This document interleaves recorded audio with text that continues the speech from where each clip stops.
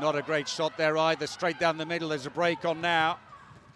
Mehmedovic dummies the pass. Saved by Toft. Well, Toft has started in uh, great form.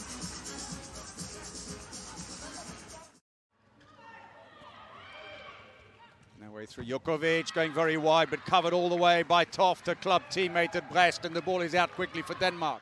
But he gives space now for Montenegro if they can use this well to get uh, right back in again. Shot comes off uh, the face of. Uh, cut it down. She was under a lot of pressure from the defence. And in fact, Mehmedovic and Radicevic, the two of them were also in the silver medal winning team of uh, the Olympic Games in London.